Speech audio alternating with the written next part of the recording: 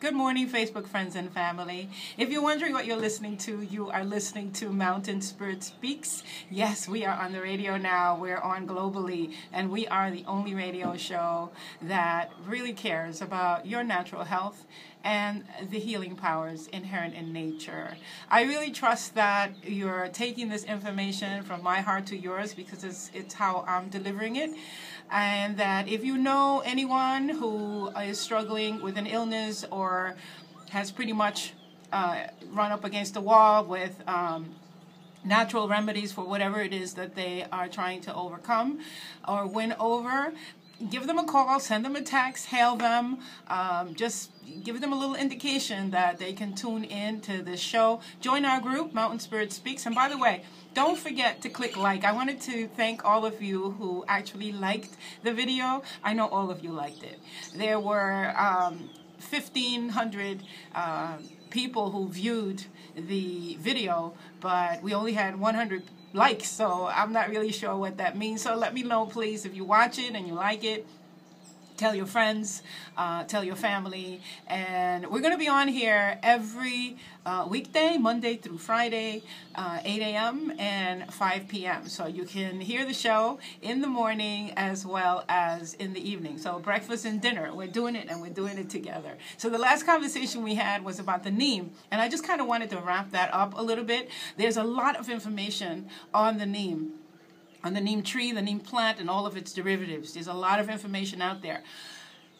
But it all may not pertain to you. So I'm not going to dump all of it through this this this little pipeline uh, of a radio show. I'm going to try and give you the nuggets that I think you're interested in. In fact, a lot of the comments that we got from the the last video had to do with its antibacterial properties and also the birth control we covered oh and and the hair care. We covered um, what the neem can do with other um, ailments. We've also spoken before about uh, the neem and diabetes so uh, we know for sure that the medicinal properties of neem are so powerful and so effective uh, in balancing blood sugar that in India they're actually included uh, in a medication, and it's a government-approved uh, diabetic medication. It just has not made it to this side yet. However, you live in an environment where you can actually grow a neem tree. You can buy the fresh uh, neem leaf powder. You want all of these things to be fresh and you want them to be processed properly. So uh, we have all these attributes about this beautiful plant. We talked about the dental care. Now, I want to just uh, share with you what I know about how it's used for birth control. And it's been used for birth control for thousands of years. This is not a new thing. What happens is that um, the neem uh, once it's it's put into the body within a lunar cycle, within the span of 30 days, or really 28 days, you can take the neem, and you're talking about like a quarter teaspoon of powder a day.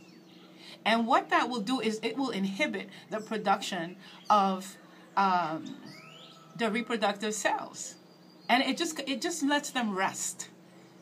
It doesn't destroy them, it just lets them rest. So they don't they don't form as quickly. Now, one of the things you really don't know is that midwives and, and fertility um, healers from days of old, from the ancient times, have used neem to harness reproductive energy for that very reason. Oh, they didn't know the scientific breakdowns and maybe they didn't know the molecular structure of this and that, but they knew that if you took neem in this minute quantity, it's not the kind of herb that more is better. Neem is, is, is psychic. It's brilliant. And it works with your spirit, so you only really need a tiny bit. So one quarter teaspoon of neem leaf powder, or just five leaves, five powdered leaves a day. That's enough to send that signal to your reproductive system to rest.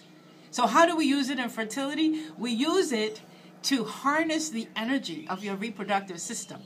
So when you haven't been ovulating or the eggs have not been um, uh, sticking, as we say, the, the